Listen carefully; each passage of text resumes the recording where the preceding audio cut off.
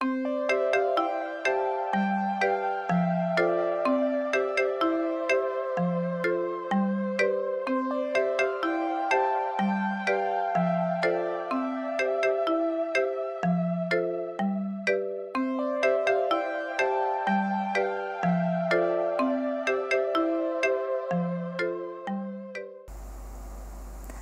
Ovih dana pažnju javnosti privukla je informacija da ćemo naredne godine plaćati nešto veći porez na nekretnine. E, ko će i koliko platiti porez? E, ovog jutra razgovaramo sa Slavicom Pavlović, rukovodiocem odeljenja za utvrđivanje naplatu i kontrolu izvornih prihoda.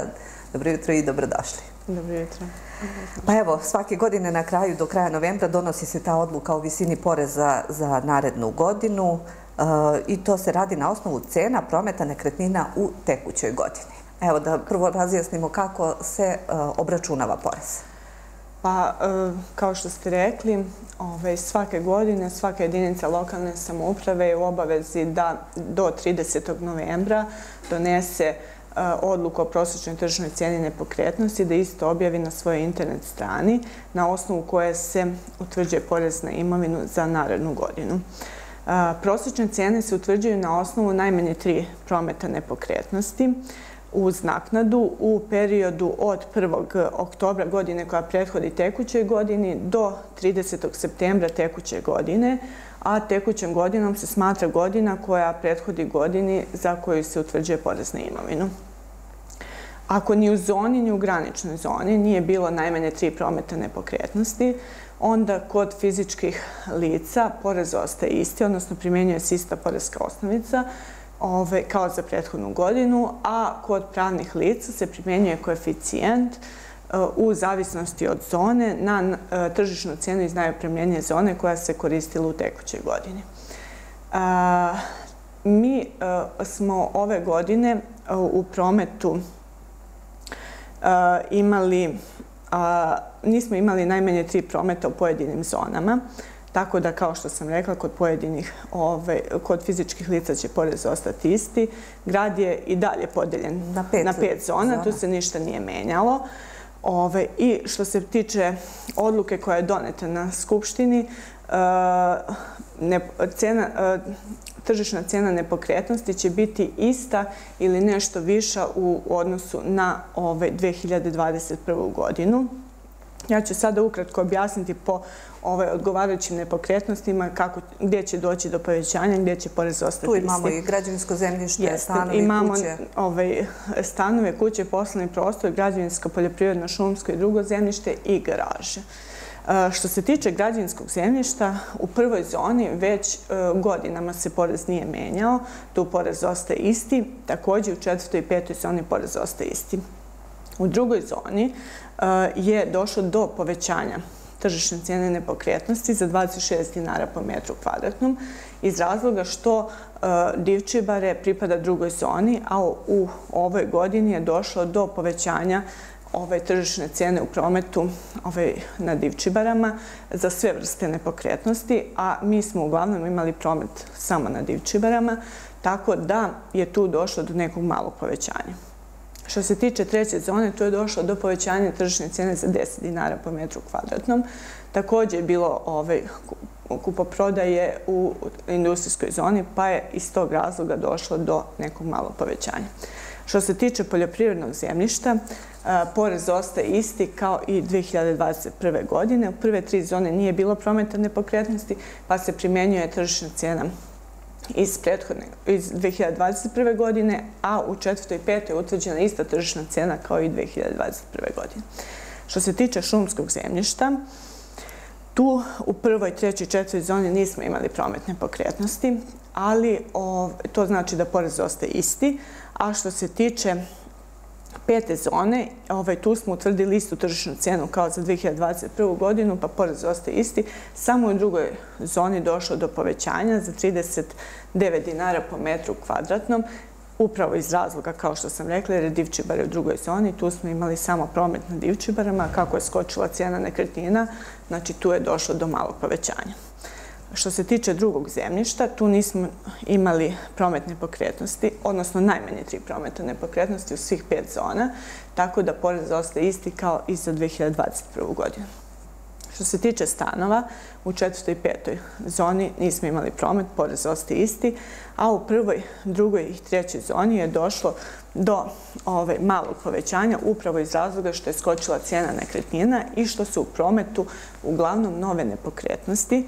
E, sami znamo da je grad, centar grada je, ovaj, je sada ovaj, uglavnom se grade nove zgrade i tu je došlo do povećanja, ali to u maksimalnom iznosu će do, biti e, ovaj, u nominalnom iznosu do 220 dinara na godišnjem nivou povećanja.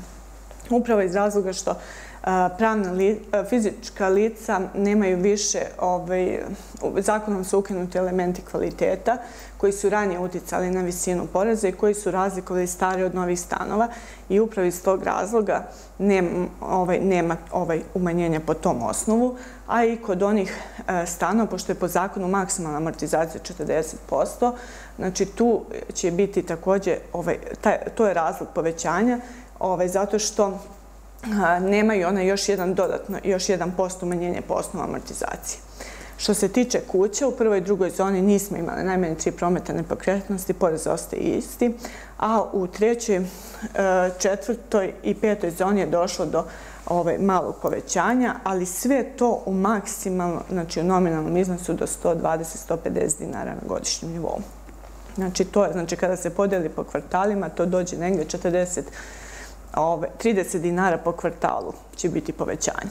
U odnosu na ovu Na 2021. godinu. Također isto važi kao i za ove stanove. Tamo gdje je maksimalna amortizacija, tu najviše dođe do povećanja, ali iz razloga što nema još jedan post umanjenja po osnovu amortizacije. Što se tiče poslovnog prostora, tu nismo imali najmanje tri prometa u trećoj, četvrtoj i petoj zoni. Ove, tako da porez ostaje isti kod fizičkih lica. A kod pravnih lica, kako se primjenjuje koeficijent na tržišnu cijenu iz najpremljenje zone za 2021. Tu će doći do nekog malog povećanja, ali sve to u nominalnom iznosu do 1300 dinara u zavisnosti od zone, jer pravna lica nemaju umanjenje po osnovu amortizacije. Što se tiče pravnih lica, oni za skladišni proizvodni prostor, će imati manji porez ove godine, odnosno 2022. Ove, iz razloga što oni imaju umanjenje po osnovu amortizacije, jer oni prijavljuju porez po knjigovostavnoj vrijednosti i ova odluka nema utjecaja. Znači, ovo povećanje se samo odnosi na klasičan kancelarijski poslovni prostor. Što se tiče prve i druge zone, tu imamo malo povećanje, ali sve tu u nominalnom iznosu kod fizičkih lica maksimalno do 500 dinara ovaj povećanje a ovaj, znači, za pravna lica sam već rekla negdje maksimalno do 1300 iz razloga što nema imanjenje poslovne amortizacije. Ono što je bilo pre par godina aktuelno da poljoprivrednici koji obrađuju zemljište ili voćnjak dobijaju rešenja za e, naplatu poreza za građevinsko zemljište van građevinske zone. Da li će oni imati ponovo, bila je neka odluka da se njima dozvoli da umanjenje tog poreza? Tako je. U okviru zakon se promenio 2018. godine i ovaj, sva ta fizička lica koja imaju građansko zemljište koriste isključivo za gajanje bilja e, ili ove, šuma, ove, oni mogu podneti izmenjenu porezku prijavu do 31. januara i ove, mogu da plaćaju kao poljoprivredno, odnosno šumsko zemljište po toj tržišnoj cijeni, ovaj, jer mi imamo kategoriju u našem ovaj, porezkom knjigovodstvu gdje eh, se ovaj porez može plaćati kao građevinsko namjena poljoprivredno ili građevinsko namjena šumsko. Eh, oni, znači, samo je neophodno da ponesu izmenjeno u skladu sa odlukom i mi ovaj, ćemo izaći na teren, konstatovati zapisnikom i ovaj, uneti tu prijavu kao poljoprivredno, odnosno šumsko zemljište. Da li ima dosta tih slučajeva? Pa ima tam, e, imamo neke gradske, ove, te seoske zone, znači četvrta zona gdje imamo dosta. Beloševac, Rađevo, selo, Sedlar, imamo te građanska zemljišta koja se isključivo koriste za gajanje bilja i šuma i onda, pošto to promjena urbaničkog plana, to zemljište je građevinsko, ali mi svakako, znači, obveznici dolaze, podnose prijave, i na divčibarama imamo dosta slučajeva. Ove, mi izađemo na teren, konstatujemo zapisnikom i to nije nikakav problem da se ove, porez utvrdi kao poljoprivredno, odnosno šumsko. E, šta je sa onima koji imaju dugovanja? Da li je omogućen reprogram? E, jeste, u skladu sa zakonom, u članu 73 zakona o poreskom postupku i poreskoj administraciji, sva pravna i fizička lica mogu podneti zahtev za reprogram ukoliko ovaj, imaju dospela dugovanja Eh, i reprogram se ovaj, može odobriti u zavisnosti od visine duga, postoji određen broj rata po uredbi kako se ovaj, ovaj, plaća ovaj, u tom periodu narodnom i eh, a ukoliko budu redovno plaćali tekuće obaveze i rate reprograma, može da im se otpiše 50% kamate. Eh, mi ćemo u nekom možda narednom periodu raditi opomene fizičkim i pravnim licima, pošto po zakonu smo u obavezi da da ovaj, dostavljamo opomene.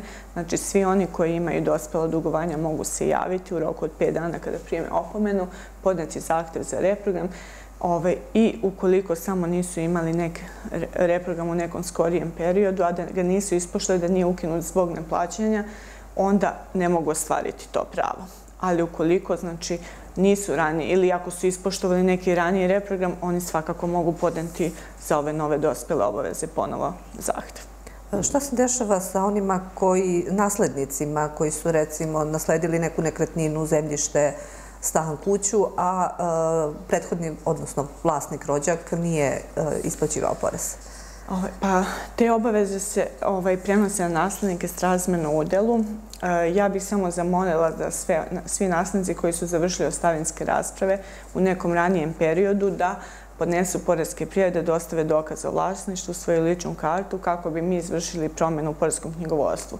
Od 2020. godine e, na nivou države je e, ukinut porezki kredit za umrla lica, jer smo mi automatski sada povezani sa matičkim knjigama i to se u našem sistemu odradi, tako da kada radimo razlaz poreza, e, svim umrlim licima je porez duplo veći. Što se tiče ove, ovih novih ostavina koje su od 2020. godine preko notara, mi automatski dobijamo od notara ove podatke, formiramo prijavu i obveznici ne moraju sami da podnose prijave. Ali u sudu, ukoliko rade ostavinu, moraju sami da podnesu porezku prijavu, da prilože ove rješenje o stavini i da ove, mi izvršimo promjenu. Mi smo zbog same ove situacije u zaostatku E, ne možemo da postignemo da u roku ovaj, unesemo sve poreske prijave, tako da bih zamolila obveznike koji su izvršili promenu da imaju razumevanje, mi ćemo u ovom nekom narednom periodu ovaj, sve to odraditi. Ukoliko su imali uplate na umrle lice, mi ćemo preknjižiti na naslednike, tako da oni tu ništa neće biti oštećeni u tom smislu ovaj, da će im ovaj, ići neka kamata ili nešto. Znači mi kada odradimo i unesemo sistem prijavu, preknjižimo uplate tako da ovaj, nema, nema kamate. Ovaj, a znači samo oni koji nisu to uradili iz nekih ranijih godina, da to što pre urade, jer porez će im svake godine biti duplo veći na umrla lica. I problem je što pošiljka, odnosno rešenje, ne može da se uruči na umrlo lice. I tu onda imamo ovaj, puno e, se obračunava kamata, obveznici ne plaćaju i onda kada posle ovaj, podnesu prijavu, onda se sva ta kamata i glavni dug prenosi na naslednike s razmenu udelu. E, kako je inače što se tiče naplate poreza? Da li se redovno izmiruju ili je zbog ovakve situacije u poslednje dve godine došlo do nekog kašnjenja? U 2021. je došlo do ovaj, bolje naplate poreza na imovinu i fizičkih i pravnih lica. Do sada je, ja sam pre neki dan radila ovaj, eh, analizu neku i došlo do povećanja negde negde u ovaj, naplaćenje 87% ovaj, u odnosu na utvrđen porez.